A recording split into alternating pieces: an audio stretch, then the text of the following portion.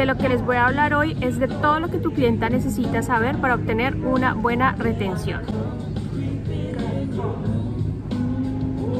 El problema con el que más sufrimos nosotros las lascistas es la falta de retención pero muchas veces no es nuestra culpa. Nosotros lidiamos con bounders, adhesivos, primers, que si limpiamos bien, que si pusimos bien el parche, que parámetros, humedad, son 20 mil cosas las que hacen que nosotras podamos hacer un buen trabajo o no.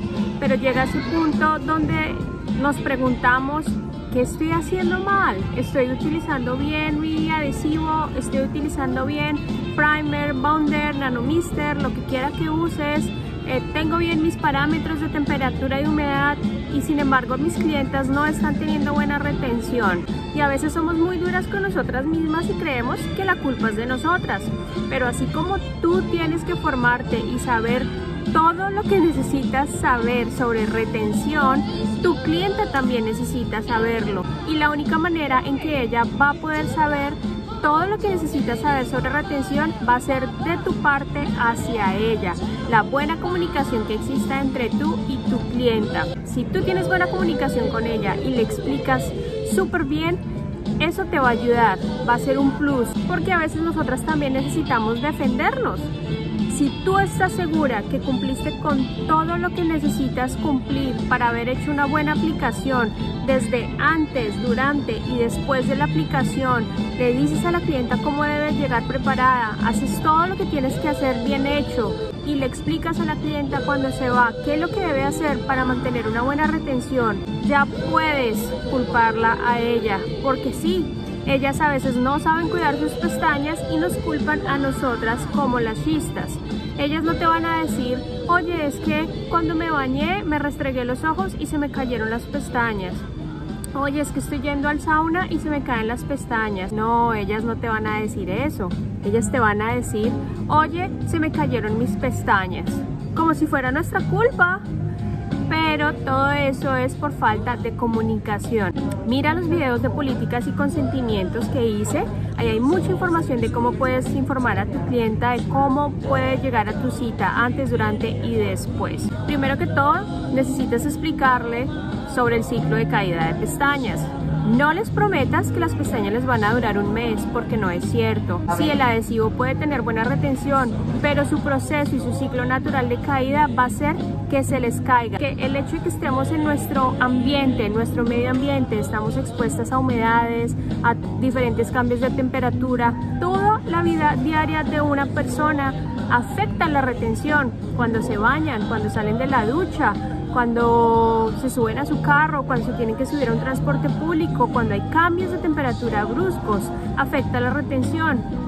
Entonces uno de los tips que te quiero dar es que no les prometas que las pestañas les van a durar más de dos o tres semanas sin necesidad de hacer un retoque, porque no es cierto. Es que sus pestañas les van a caer naturalmente por el ciclo normal de caída. Diles que eso es normal que se les caigan dos, tres, cuatro pestañas al día es normal. Hay unas personas que se les caen más, otras personas que se les caen menos. Es normal. ¿Qué afecta la retención de parte de ellas? ¿Qué es lo que ellas deben saber? El tipo de productos que están utilizando alrededor de sus ojos. Cualquier tipo de bloqueador, base, crema, loción, cualquier tipo de producto que estén utilizando alrededor de sus ojos va a afectar la retención, especialmente si están hechos a bases de aceites. Y la gran mayoría de productos, sobre todo los hidratantes, están hechos a base de aceite. Entonces el hecho de que ellas se maquillen, el hecho de que ellas estén utilizando una crema hidratante va a afectar su retención. Pregúntales qué tipo de productos están utilizando y que verifique si están hechos a base de aceite o no. La vida diaria de una persona, especialmente si es una persona que hace ejercicio, una persona que va al gimnasio, una persona que nada, una persona que utiliza demasiado bloqueador solar porque sale a correr, va a afectar la retención. Ellas tienen que ser conscientes de eso. La manera en la que duermen también afecta la retención. Muchas o la gran mayoría de nosotras dormimos de lado o boca abajo El estado de salud es importante si han sufrido algún tipo de gripa o alergias que las hace estornudar mucho o poner los ojos aguados, lagrimosos, afecta la retención. No sobra preguntar si ha estado enferma. La manera en que se duchan es muy importante, que no les caiga agua directamente a las pestañas y mucho menos agua caliente. Y cuando salen de la ducha y se tienen que secar, preferiblemente que no se sequen las pestañas. Ellas se van a secar solas, por sí solas. Entonces que se sequen su carita y las pestañas con el cepillo que tú les das, simplemente se las tienen que cepillar un poquito y se van a secar solas por sí mismas.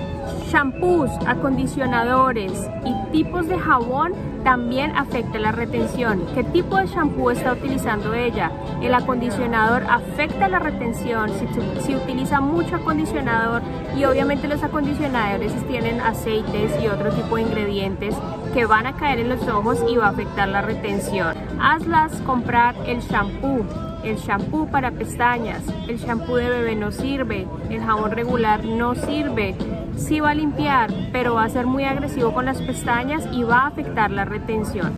Entonces, un buen shampoo para pestañas de espuma es el que necesitan utilizar. Ellas tienen el concepto de que entre menos se las laven, más les van a durar y es todo lo contrario porque se acumulan los aceites naturales de nuestra piel alrededor de las pestañas. Entre más limpias las tengan, mejor retención van a tener. El modo en que se cepillan las pestañas también afecta. Pregúntales cómo le están haciendo, que no se las cepillen desde la raíz, se las tienen que cepillar de la mitad hacia afuera, de la mitad hacia afuera. O a veces no hay necesidad de que se las cepillen, que con el cepillo se las arreglen, pero no que se las cepillen. A veces utilizan medicamentos que afectan las hormonas y si hay una falla hormonal vas a perder pelo más rápido. Eso significa vas a perder tus pestañas más rápido. Si tú vives en países como Estados Unidos, Canadá, Chile, Argentina o cualquier país que tenga estaciones, la estación de otoño es la estación donde más problemas de retención tenemos. Estuve averiguando y resulta que así como los animalitos cambian de piel, nosotros también lo hacemos. Pero entonces nosotros simplemente aceleramos nuestro proceso de caída del cabello. Es muy importante que ellas tengan clarísimas las primeras 24 horas de cuidado no mojarlas, no entrar a un sauna, no nadar, especialmente para las clientas que se están poniendo pestañas por primera vez, porque las pestañas no se sienten, entonces se les olvida que tienen sus pestañas puestas y se mandan la mano o se las mojan o simplemente se les olvida.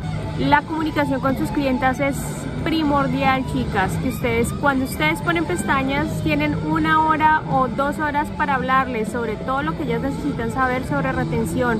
Preparen una hoja, entreguenle la hoja, preparen un mensaje de texto, un mensaje en WhatsApp o en su propia página web donde explican todos los cuidados que ellas necesitan tener para poder tener una buena retención de sus pestañas. Con eso cuando tu clienta venga y te diga se me cayeron las pestañas, si tú estás segura que hiciste un buen procedimiento, puedes empezarle a hacer todas estas preguntas a ella y ellas van a ser conscientes. Yo les digo que verifiquen bien sus hábitos porque es algo, es algo en sus hábitos diarios que está afectando la retención cómo va a ser que yo utilizando el mismo producto, el mismo adhesivo y tengo clientes que tienen excelente retención y ella no. Prepáralas, comunícate con ellas, no te pongas brava o no entres en una mala actitud cuando ellas te dicen que tienen problemas de retención, que se les han caído las pestañas. La cliente va a querer atacarte, va a querer llegar a ti, va a querer poner el problema en tus manos como si fuera tu culpa. Pero si tú eres consciente y estás haciendo las cosas bien, tú puedes devolver esa información hacia ellas y ellas van a entender y van a empezar a caer en cuenta de los hábitos que ellas están teniendo y van a ser conscientes de que sí puede que el problema sea en ellas y no tú. Ayer fue mi cumpleaños, yo siempre viajo para mi cumpleaños, pero esta vez yo pensaba ir a Cancún o alguna ciudad cerca aquí en Estados Unidos, pero la vida me cambió, la vida me cambió los últimos seis meses haciendo pestañas, y estoy en el aeropuerto esperando nuestro siguiente vuelo porque nos vamos para Europa. Eh, nos vamos a ir casi un mes. Vamos a estar por Italia, vamos a estar por Francia, vamos a estar por España, Madrid, Barcelona, Roma, Venecia, París. Y te tengo que decir que una de las razones por las que me puedo dar el lujo de hacer este viaje es por las pestañas. No te frustres, te van a pasar cosas. Siempre vas a tener obstáculos en el camino, razones por no hacer las pestañas. Tengo, tenía o tengo muchísimas, porque tenía un trabajo, porque mi esposo me demanda tiempo, porque no tenía un lash room. El, para mí el, el decir voy a hacer pestañas era inconcebible, pero lo tenía súper enfocado, súper enfocado. Después de que yo empecé a hacer mis pestañas, empecé a practicar un montón, empecé a conseguir modelos, empecé a conseguir descuentos y me empezó a ir súper bien por referencias. Si se puede lograr, si lo puedes lograr. Simplemente estudia, estudia mucho, practica mucho y te prometo que la vida te va a cambiar.